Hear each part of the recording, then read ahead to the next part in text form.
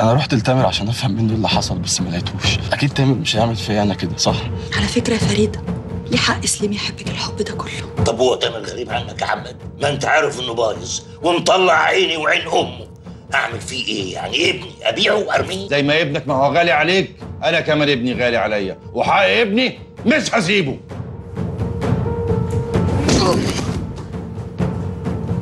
انت شرفت يا حيت أمك؟ لا ما تخافش. حلتمه اللي هيعرف يروح ولا يجي؟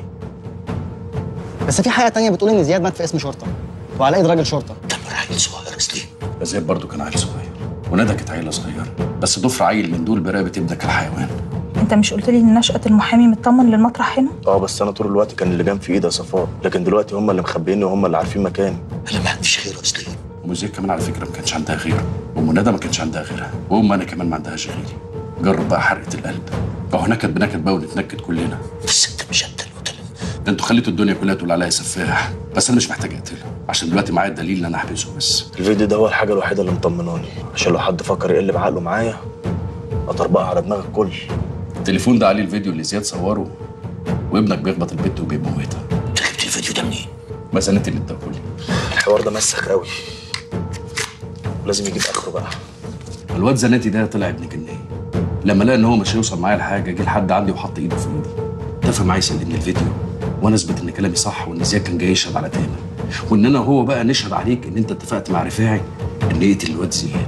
أنا وأنت دلوقتي بندفع ثمن معرفتنا بلطفي وابنه. ده غير حماد بقى بعد ما عرف إن ابنك ماشي مع مرات ابنه أكيد مش هيساعدك. وشرفك عندي اللي حصل ده ما هيعدي بالسهل. بلاش جعجعة فارغة يا حماد. إيه؟ فاكر نفسك في خطبة من خطب مجلس الشعب بتوعك؟ متجمعين في وزعبل إن شاء الله. المرة دي مش هسيبك يا سليم. سليم نسيت باشا مصر ولا إيه؟ نمسك أعصابنا ونهدى شوية. عشان لو طلقه طلعت بالغلط كلنا هنموت.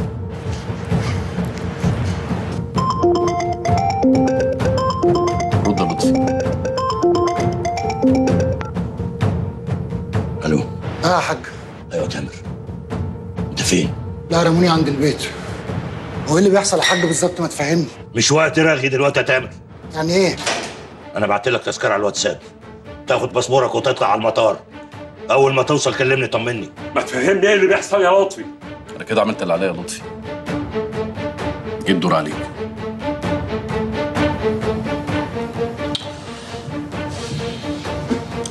طب أنا في إيدي إيه أعمله لك بعد ما اتفقت مع زناتي؟ سلم لي زناتي. سلمك زناتي أنا سلمك ابني. يبقى أنا استفدت إيه؟ ده أنا عملت كل اللي أنا عملته ده عشان ابني. أنت ابنك ما يلزمنيش في حاجة. ابنك سجنه اللي هيأخر ولا قدم حاجة بالنسبة لي. لكن رقبتي اللي هيحلها رقبة زناتي طب والواد؟ عندي. وثق سليم هسلمني زناتي أسلمك ابنك. وعشان تتأكد من كلامي هقول لك نطلعه زي بره البلد دي قبل ما نضرب ضربتنا قلت إيه؟ سليم عنده حق. من ساعة المصيبة اللي عملها تامر ابني وإحنا كل يوم بنتورط أكتر من اليوم اللي قبله. والسلاح اللي في إيدينا ده مش هيخرجنا من ورطتنا. امال اللي هيخرجنا يا حاج إنك تتفق مع الباشا؟ أنا مش أول واحد يتفق يا زناتي. وبعدين ما إحنا بنكسر فيه وبيكسر فينا من أول المشوار. وصلنا لإيه؟ اسمع كلام عمك الحاج يا زناتي. إحنا من الأول أصلا ما فيش بينا عداوة. بس بعد اللي عمله ابن لطفي كلنا اتصرفنا بغشوميه واولكم أنا. تغشمنا آه اتغشمنا بدل القتيل بقوا اتنين وتلاتة وأربعة. ويا عالم مين اللي جاي. مش قادر أصدقك يا حضرة الظابط ليه يا متر؟ ده أنا جاي لحد عندكم عشان نشوف حل يرضينا كلنا. يا ريت. بس إزاي؟ عيب ده أنت محامي كبير وهتفهم الكلام. اسمعوا كلامي بعدين متر يحكم. السلاح اللي إحنا رافعينه في وش بعض ده مش هيفيد بحاجة. نزلوا سلاح أحسن.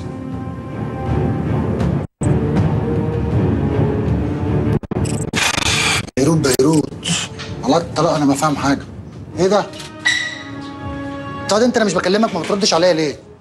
حصل حتة دين ترباية ده شاري ما خطفوني وودوني في مكان غريب كده. كانوا هيغتصبوني آه بس أنا قاومت. مالك يا شاري أنت عامل كده ليه؟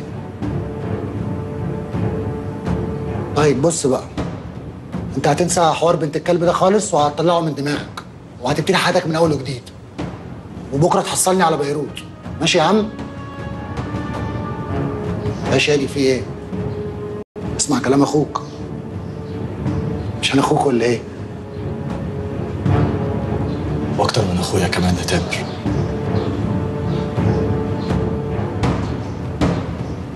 عشان كده الخيانه لما بتيجي من الاخ بتبقى مره قوي يا صاحبي.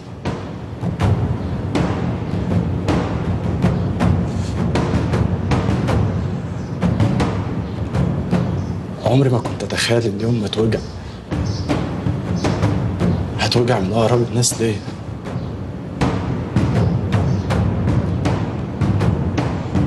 عشان كده الوجع تمنه هيبقى غالي أوي يا صاحبي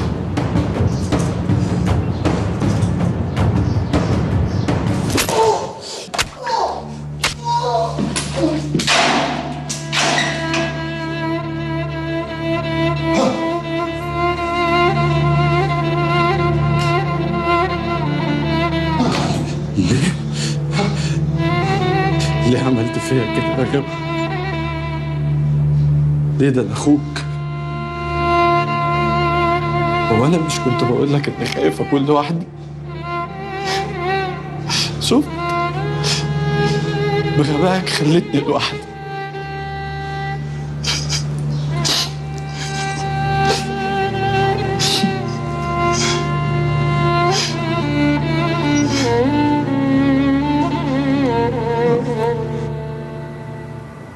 جاي تلعب بينا يا جدع انت ولا إيه؟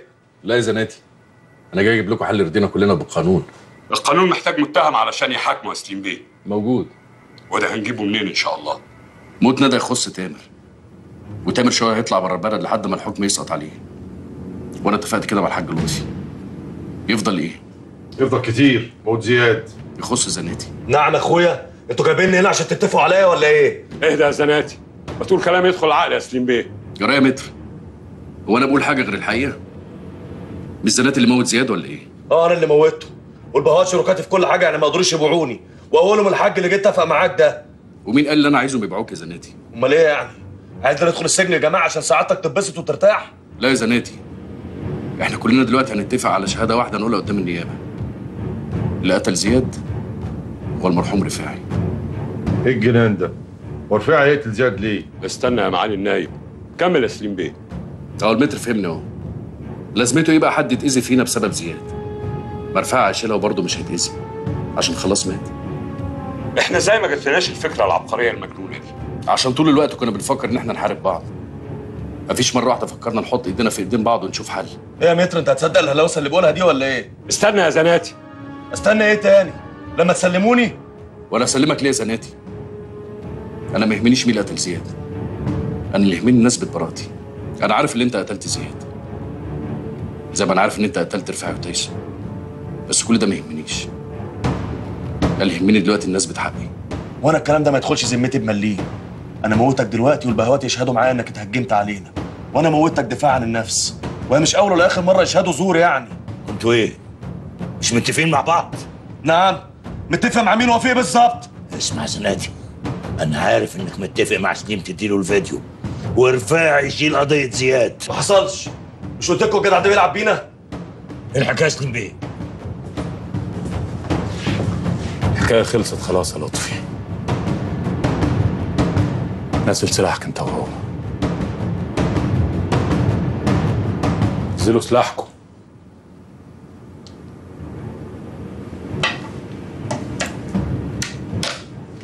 نزل سلاحك يا زناتي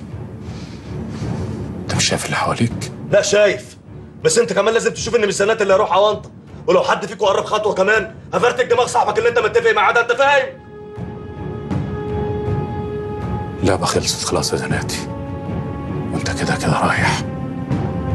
نزل سلاحك عشان نعرف نتكلم. مش هروح لوحدي.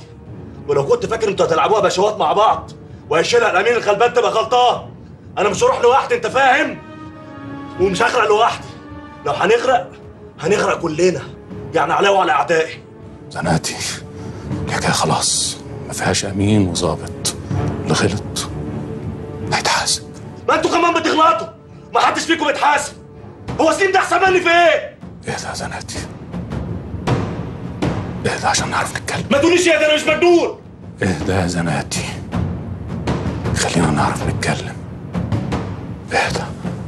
أكيد دلوقتي صدقتني يا صلاح بيه. ولو مت دلوقتي ولا قتلني. يبقى ذنبي في رقبتك.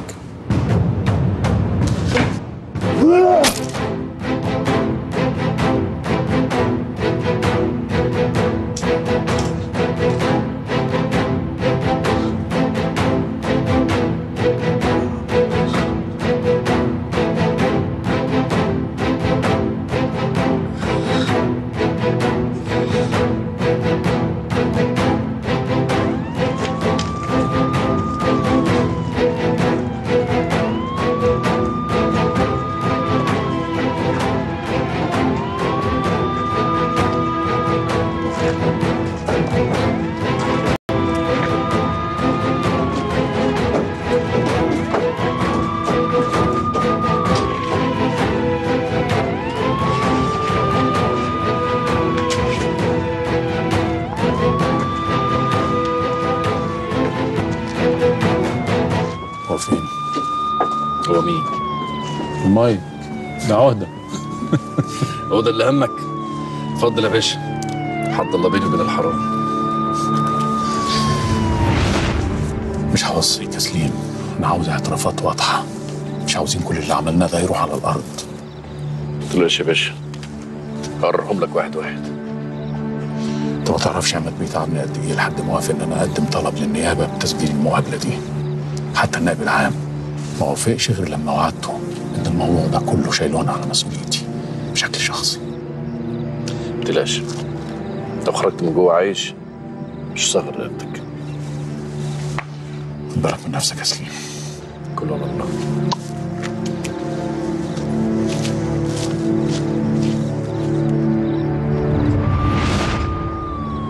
كان نفسي يطلع عايش عشان يدفع ثمن اللي عمله اللي ما دفعوش في الدنيا يا سليم هيدفعوا في الآخرة. أظن أنا كده عملت كل اللي عليا. ووفيت بكل وعودي.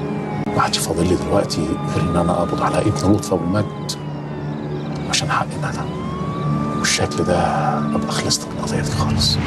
سليم شغل نفسك بحاجات مش هتفرق كتير. حتى لو أنا اقتنعت إنك بريء ما أعتقدش إن ده هيغير في موقفك القانوني في حاجة. افرض لو ساعدتني أجيب دليل براءتي إزاي؟ أنا عندي خطة ممكن نجيب اعترافات منهم وتسجيلات منهم إن هم اللي عملوا كل ده. بس عشان ده يحصل محتاجين إذن النيابة. وأنت الوحيد اللي تقدر تساعدني. أنت كده عملت اللي عليك. ابن لطفي ده بتاعنا. أنا اللي هجيبه. تجيب المايك اتفضل يا باشا.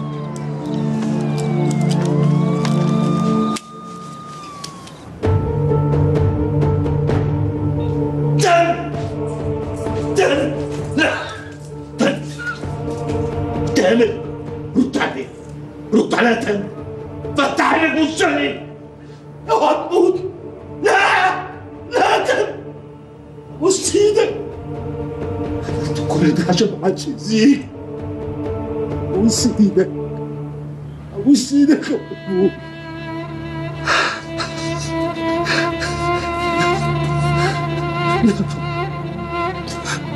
تعاقبني أنا عاقبني بس سيبوني يا رب سيبوني يا رب ما عنديش غير هاتني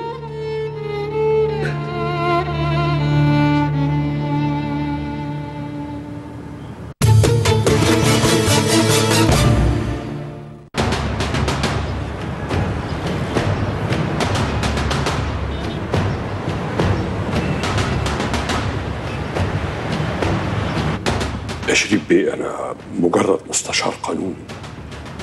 وبحكم إن أنا محامي ما أقدرش أطلع أسرار موكلي بره ابدا. مم. طب والشهادة الزور؟ والتستر على مجرم هربان من العدالة وإخفاء الأدلة.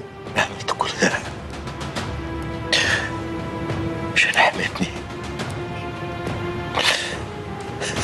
اللي ما عنديش غيره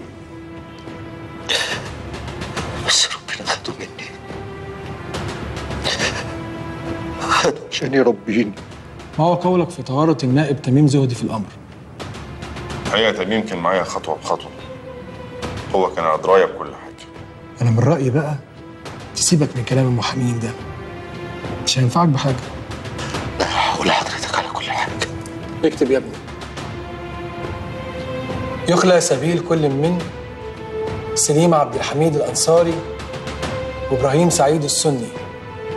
من سرايا النيابة. مبروك يا إبراهيم. مبروك عليك البراءه يا سليم بيه. ما تقلقش موضوع حسن الضبع خلاص خلص. كلها كام يوم وهتلاقيه في الكلبش. كلبش فاكر كلبش يا سليم بيه؟ أنت بتضحك. دي كانت أيام سودة يا جدع. الحمد لله يا بيه. كفاية بس إن أنا اتعرفت عليك. الحمد لله. خلي بالك من نفسك. ربنا يسعدك يا سليم بيه. ما تنساش تبقى تعزمني في الفرح بتاعك. فرح إيه ده؟ يبقى كله ظباط مش هينفع اعزم مسجلين. ربنا يا رب. يبارك فيك يا بيه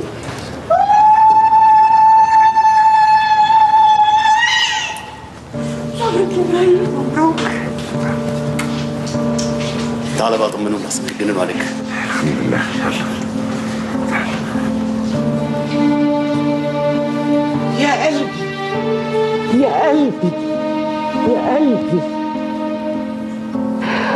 الحمد لله على سلامتك وحشتوني يا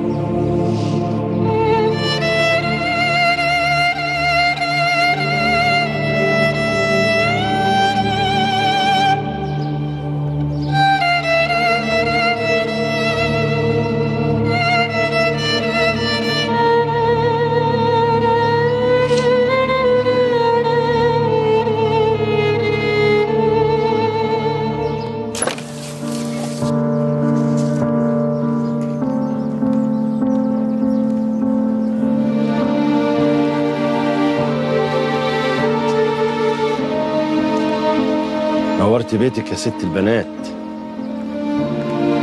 ده بيت صالح أبو فضه وهيفضل طول عمره بيت صالح أبو فضه عم صلاح يفضل طول عمره عايش طالما عنده بنت زيك. سابني لوحدي يا سليم. مفيش الكلام ده محدش سابك لوحدك إحنا أخواتك ونفضل حواليك أي وقت هتحتاجينا هتلاقينا. عديت اللي دماغك ناشفة. ما قلت لك تعالي عيشي معانا. آه ولو ما عجبكيش تعيشي عند مامة سليم بيه تيجي تعيشي معايا أنا مع سميحة ورؤية والبنت نورة وهيهيصوك هيصة يعني أحسن صداع في الدنيا هيجيلي ومين اللي هيفتح البيت؟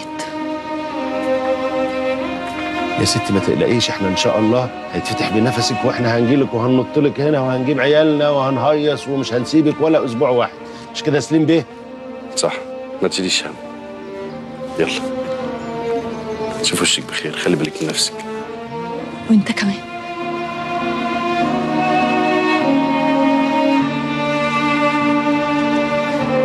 عم يلا بقى. نسيت إن إن أنا مرتبط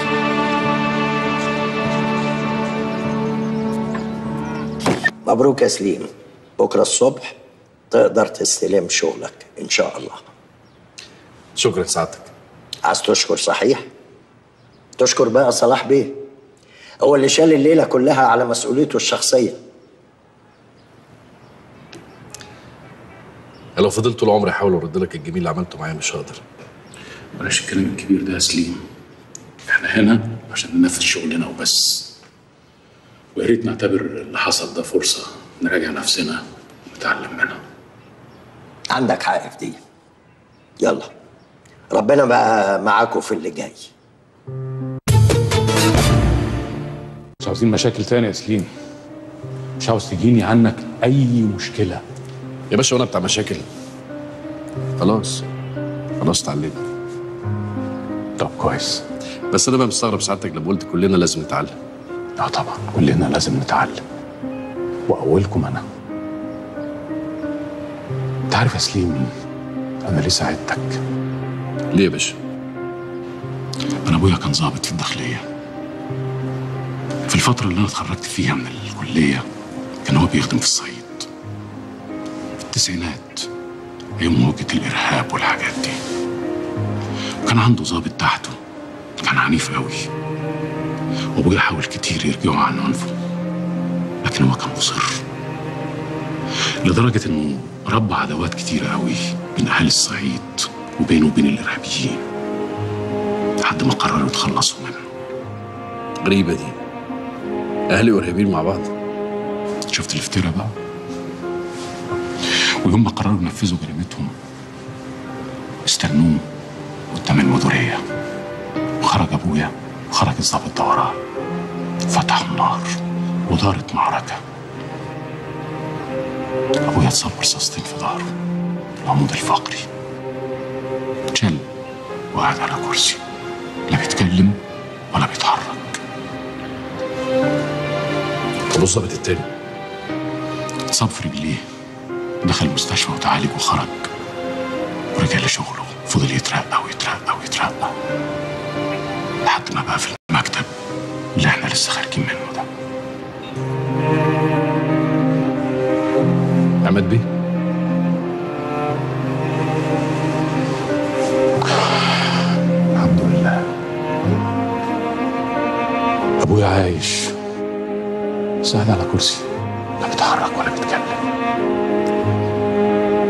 ربنا يديله الصحة بس برضه معلش يعني أنا مش فاهم اللي حصل ده إيه علاقته بيا؟ في الأول خالص أنا كنت مصر أجيبك بإيدي وبسناني وأسلمك بنفسي. انك كنت بالنسبة لي نسخة مكررة من عماد. لكن لما اكتشفت براءتك اكتشفت إنك نسخة مكررة من أبويا. اللي دفع ثمن غلطة واحد تاني.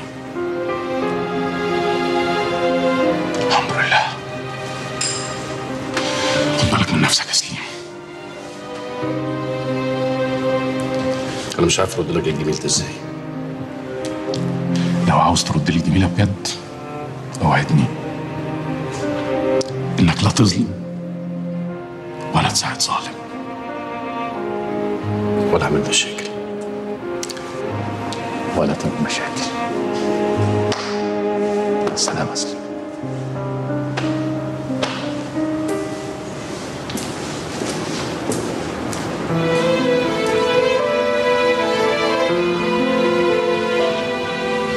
خلاص خلصت. راضي عني يا سيادة اللواء.